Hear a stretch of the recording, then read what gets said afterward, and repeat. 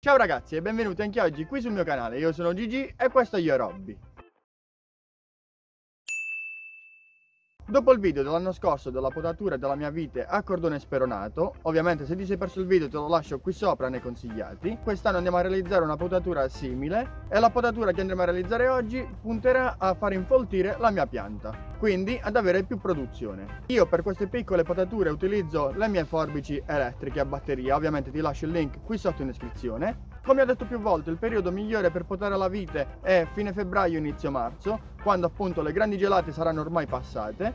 Ora non perdiamo altro tempo e andiamo a potare.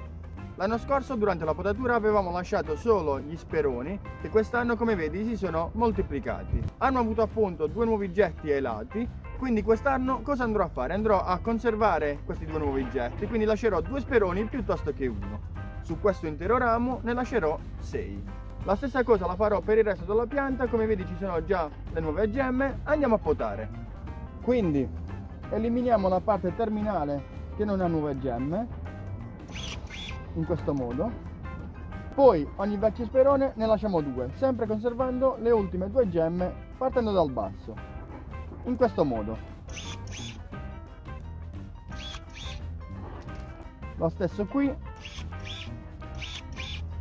e qui.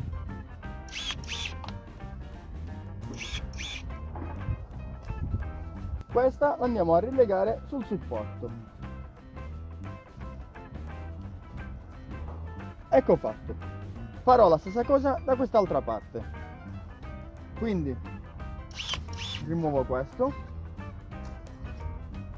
Due gemme due gemme qui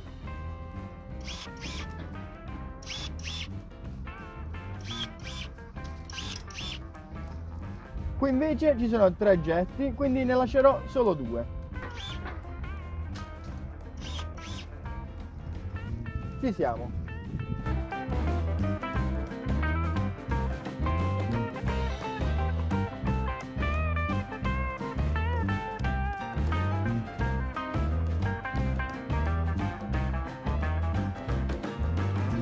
Bene quindi questa era la mia potatura per infoltire la vite. Se ti sei perso gli altri video di potatura di mantenimento dell'albicocco e del fico te li lascio qui sotto in descrizione. Sul mio canale a breve troverai tanti altri video inerenti alla potatura dell'ulivo, del fiorone, di tanti altri alberi, quindi ovviamente lascia un bel like a questo video, iscriviti al canale e spunta la campanellina per restare sempre aggiornato. Io come al solito ti saluto, ti ringrazio e ti invito a seguirmi sui social che trovi qui sotto in descrizione e noi ci vediamo sempre qui per il prossimo video.